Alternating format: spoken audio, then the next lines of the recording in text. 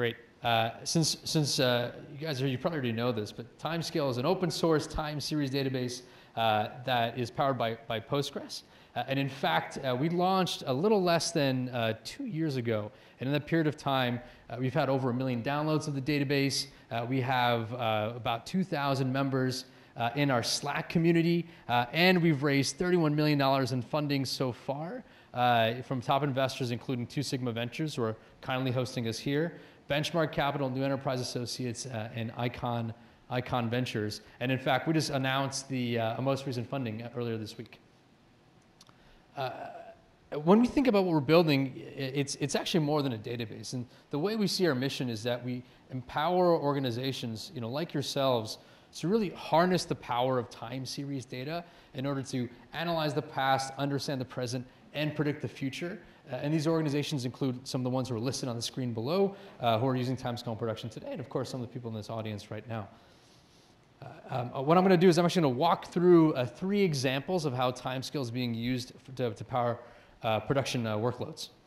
So, so, number one is Cray, and Cray, you know, is a su supercomputing company, and in fact, uh, they're one of our, uh, our, first users. They, they started evaluating timescale uh, close to two years ago. Uh, and in fact, uh, they were able to stress this database quite far. So they took a single database out to uh, 500 billion rows. It was close to 100 terabytes of data in a single database. And they saw faster queries with a high sustainable insert rate. And the key point is that this, uh, th like this use case is actually not on the Cray supercomputer because that would be cheating. This is actually on a Linux box that ships with the Cray supercomputer. And so today, you know, where we are today is that Timescale DB ships with every Cray as part of its uh, internal uh, uh, monitoring solution. Uh, number two is Nutanix. Nutanix actually earlier this year, earlier last year, evaluated a number of different options to store and analyze the variety of metrics they're collecting as part of their hybrid cloud offering. Uh, and they uh, you know, ended up uh, narrowing down and just choosing Timescale DB. And they chose it primarily because of the flexibility and reliability of Postgres. And in particular, what they found so far is that uh, this reliability uh, uh, it was it was just found as so reliable that they're now looking for other use cases across Nutanix, with which they can kind of expand their use case. Uh, and number three is uh, is Comcast. So uh, Comcast uses timescale in actually a few places. One of them is to monitor a 120 petabyte data center and uh, they, what they ended up doing is they replaced their prior NoSQL solution uh, with Timescale DB. And, and, as a result, uh, and, and, they did this for, for, essentially two reasons. Number one was to really to leverage the power of SQL, which enabled them to ask more and more complex questions of their data than they could before, um, but also to leverage SQL to eventually power executive dashboards. So what they're doing now is in the process of expanding the reach of this time series data beyond the monitoring team to exactly to the executive suite um, through some of these executive dashboards. I, I, think what you're finding right now is that when you look at you know the examples I, I, I kind of talked about today, uh, and uh, and just the, the breadth you see in, in our ecosystem across all timescale users, is that you know time series data used to be this this niche, right? It used to be this niche uh, and what we're finding now is that it's, it's quickly becoming a workload that's ubiquitous. So of course we see it in you know, finance uh, and, and in the data center, but also see it in industrial machines, and in logistics, and in web and mobile applications around eventing, um, and also in newer areas like with the rise of machine learning and AI, you see, you see the, uh, the application of, of time series databases and time scale in that workload as well.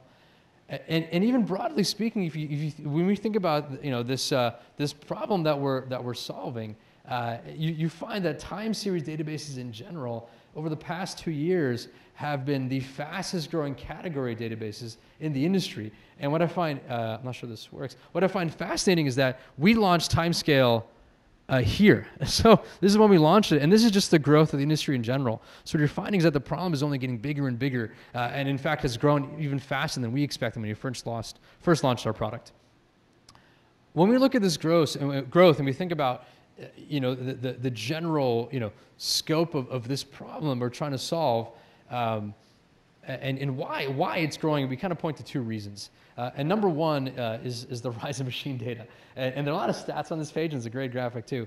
Uh, but I think the key thing to remember, the key things to remember is that uh, machines generate more orders of magnitude more data than human beings do.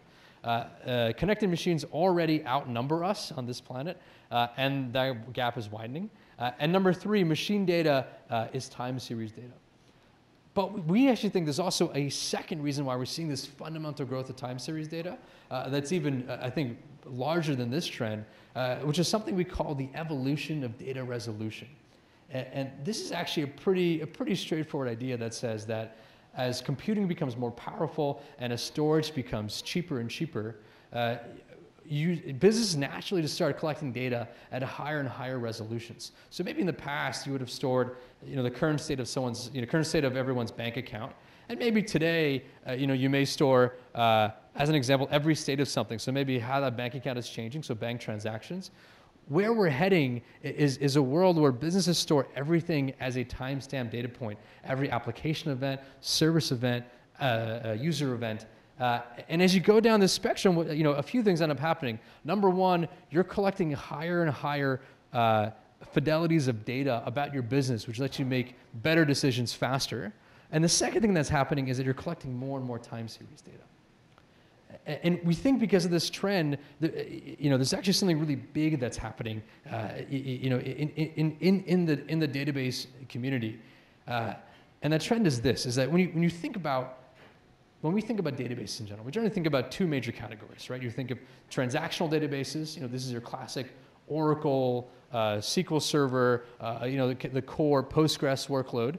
And that's, you know, the transactional pillar. And then you maybe think of the analytical pillar, which is your uh, you know, your data warehouses, the Hadoop ecosystem, uh, which has also grown over the past couple decades. Uh, and, and, these are growing into, into, massive, massive you know, problems and in industries.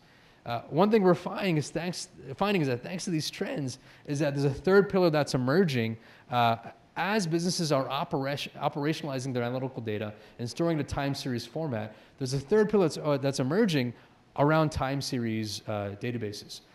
and this problem is something that we believe is actually uh, fundamental to the future of not just data, but also computing.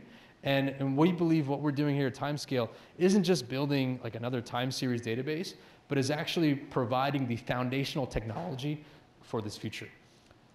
Uh, uh 2019 just started, and we actually have quite a few uh, things planned uh, to, to essentially you know, uh, move further along uh, on our mission. you're going to hear more about these today, but I thought I'd kind of give you a, a, little snippet right now just to think about it. Uh, number one, uh, uh, we're developing more and more enterprise capabilities as part of our, part of our, our, database offering. The first of which uh, we actually announced earlier this week. Uh, be, you'll see more and more in the upcoming months. Uh, number two, we're launching a managed version of Timescale on the public cloud. and number three, and this is something that Michael actually talked more about, is we're also in the middle of our uh, kind of developing our scale out, you know, you know clustering uh, capability as well. Uh, and in fact, uh, both cloud and scale clustering are currently in private beta. Uh, so this is, if either of those are interesting to you and uh, you want to you know, learn more about the private beta offering, you can find one of us or a friendly timescaler and we're happy to tell you more. so in, in a couple minutes, I'm going to hand the, the mic, or the mics, if you will, over to Mike, who is our, you know, our CTO, co-founder, and an old friend of mine. Uh, and he'll talk about uh, the product capabilities today in Timescale DB, uh, but also what's on our upcoming uh, roadmap. Uh, but uh, before I do, I'm going to leave you with one thought. And, and, this is a thought that actually occurred to us pretty early on. and the first time we, this thought, you know, first time, like I think, I don't know if Mike mentioned it, maybe someone else mentioned it, maybe you mentioned it. We were like, is this crazy? Kind of feels crazy. Is all data time series data? Like, well, let's think about this. And we thought about it, and we were like, okay, well, every, every data point has a timestamp. It's fair. And, uh, and in fact, storing your data point with its raw timestamp lets you understand not just what is the current state of your world, but also how that world is changing over time, i.e. trends. And, and number three, like, you know, I think one could argue that not storing your data as time series is actually throwing away valuable information. And so uh, you're gonna hear a lot of a lot of things this afternoon, but I want you to keep some in the back of your mind, which is, you know, as you think about how timescale can maybe help, um, um, I'm going to challenge you. I'm going to challenge you to think about not just your core time series workloads today, but also the other workloads that maybe could benefit by being stored in a time series format. Uh, yeah,